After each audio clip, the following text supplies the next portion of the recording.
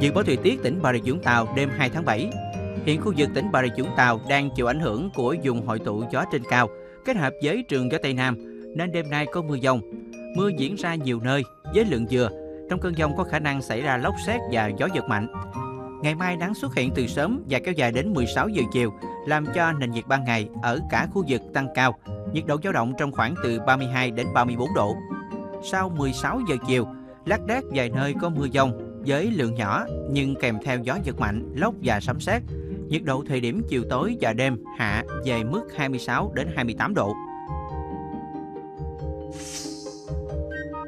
Khu vực thành phố Vũng Tàu mây thay đổi, đêm nay và chiều tối mai có mưa rào và dông vài nơi, ngày nắng gián đoạn, gió tây nam cấp 2, nhiệt độ thấp nhất từ 26 đến 28 độ, nhiệt độ cao nhất từ 32 đến 34 độ, độ ẩm tương đối 74 đến 79%.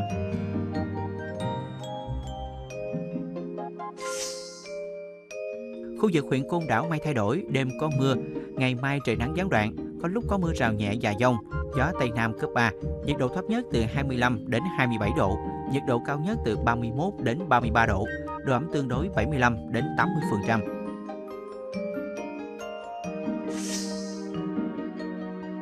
Vùng biển từ Bà Rịa Vũng Tàu đến Côn Đảo, mây thay đổi, có mưa rào và dông vài nơi, tầm nhìn xa trên 10 km. Trên biển, gió Tây Nam cấp 4, biển bình thường.